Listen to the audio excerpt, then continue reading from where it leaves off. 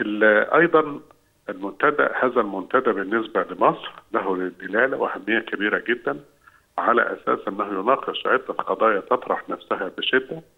السوق العالمي اليوم بالنسبة للوظائف شديد التغير وهذا التغير أيضا شديد السرعة.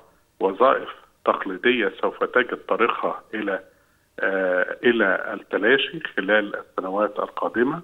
ووظائف أخرى علينا أن نستعد لها وأن نؤهل شبابنا لها سوف تزداد خلال الفترة القادمة والتوصيات التنفيذية التي انتهى إليها المنتدى الأول في عام 2019 وضعتها مصر موضع التنفيذ من خلال آه إنشاء عدد أكبر من كليات الحاسب الآلي والذكاء الاصطناعي سواء في الجامعات الحكومية أو الخاصة أو الأهلية والاهتمام بهذا التخصص.